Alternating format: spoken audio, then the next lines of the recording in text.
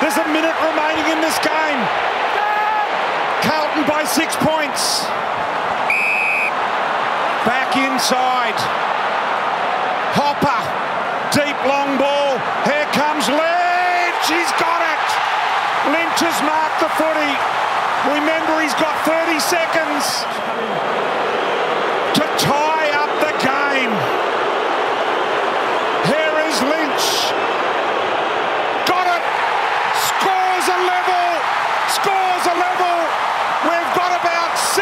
seconds left.